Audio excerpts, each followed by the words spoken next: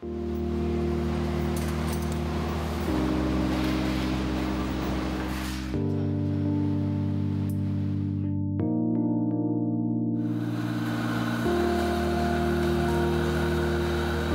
sort of fell in love with the Tintinnid when I saw it. And I mean, for me, it was a very formal love affair.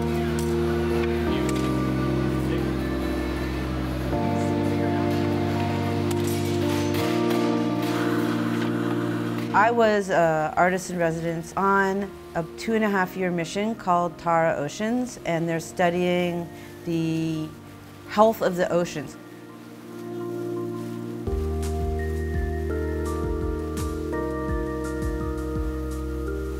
They're literally taking the temperature of the ocean through the study of plankton.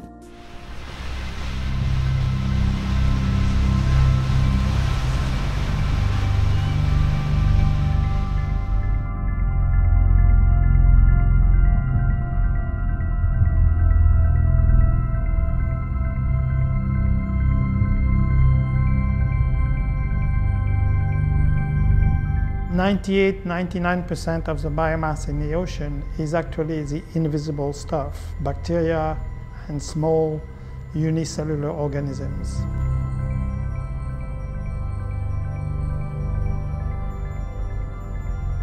I began collecting plankton from all around the world.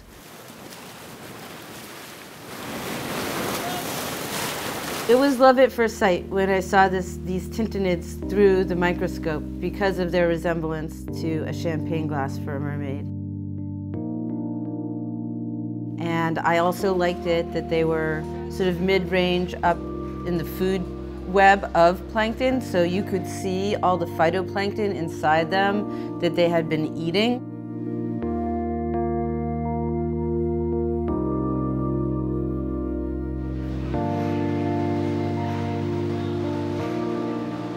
As I collected more and more plankton samples, I found um, tiny shreds of plastic in all of them, no matter how remote the location was. And so oceans and seas that looked completely pristine actually had plastic in them. It may not be the visible plastic pieces that are the most worrisome, but uh, tiny plastic particles like fibers from a shirt that you wash that may be the most worrisome because these particles might get into the tissues of planktonic organisms, fish, and eventually in our tissues. We, we really don't know much about this danger. Microplastics are tiny particles of plastic less than one millimeter in size. They're micrometer sized particles that are smaller than the width of, of a human hair. Microplastics themselves come from a variety of sources, ranging from the breakdown of larger products, like plastic bottles and bags, to more direct sources from the textile of clothing, the small fibres that come off from washing machines. The smaller a particle of plastic gets, the more available it, it becomes to be eaten by a wider range of organisms.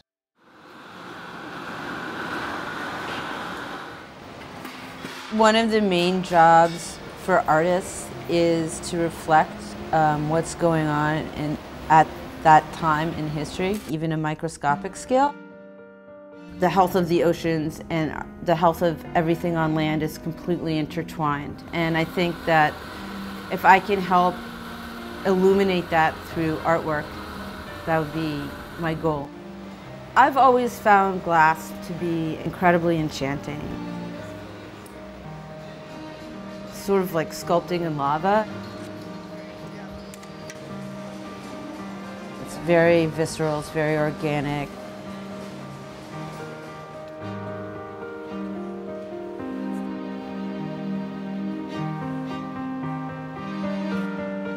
Uranium glass looks extremely bright in natural light, but under a black light, it actually fluoresces. So it looks like bioluminescent phytoplankton. Because this sculpture is about the ocean being in peril, the fact that it's slightly radioactive because of the uranium is appropriate. I'm very interested in people relating to the shapes, but also the shapes being scientifically accurate. But in this case, I made the interior shape of the Tintinnid look sort of like a damsel in distress. The sculpture is two Tintinnid plankton ensnared in plastic that's been in the ocean for a long time.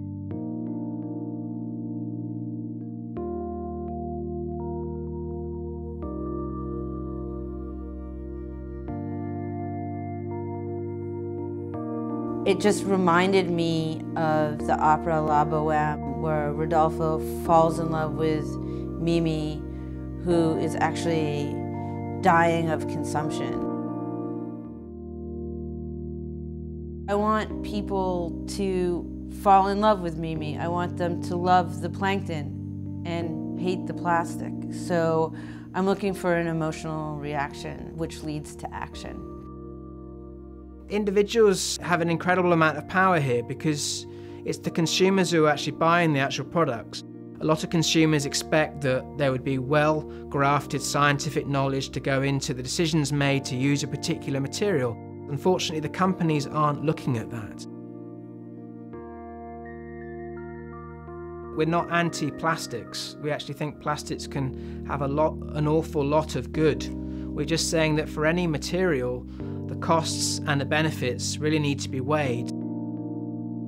You know, we estimate by 2050 we could be adding an extra 33 billion tonnes of plastic onto our world. If we have no idea about where most of this plastic is currently, what the problems are, this poses a huge problem for us.